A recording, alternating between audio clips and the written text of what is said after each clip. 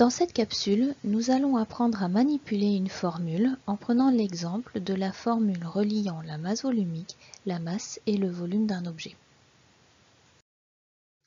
Au collège, la plupart des formules que nous étudierons relieront trois grandeurs. Nous allons les apprendre souvent sous une forme, mais en théorie, avec une formule, je peux calculer les trois grandeurs. Pour cela, il faut apprendre à manipuler cette formule, à la modifier un petit peu. Voyons comment faire en prenant comme exemple ρ est égal à m divisé par v. ρ représentant la masse volumique d'un objet, petit m la masse de cet objet et v son volume. Attention, dans toutes les formules, il faut être cohérent avec les unités. Supposons ici que la masse soit exprimée en grammes et le volume en centimètres cubes. La masse volumique sera donc en grammes par centimètre cube. Mais on peut exprimer dans d'autres unités. Si je mets ma masse en kilogrammes et le volume en mètres cubes, cette fois-ci, la masse volumique sera, eh oui, en kilogrammes par mètre cube. Voyons comment calculer la masse maintenant. Sous cette forme, je n'ai pas la masse directement. Quand je l'observe, la masse est indiquée sur le terme de droite. Cependant, il y a également le volume.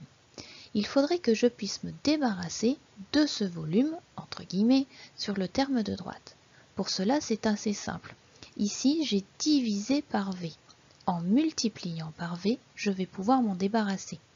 Mais bien sûr, je n'ai pas le droit de faire ça si je ne modifie pas également le terme de gauche avec la même multiplication. Vous allez me dire, mais ça ne sert à rien. Mais si. Je peux maintenant, sur le terme de droite, simplifier V divisé par V. Et on arrive à V multiplié par ρ est égal à la masse. Sous cette forme-là, en remplaçant avec les valeurs numériques des énoncés, je peux calculer la masse d'un objet.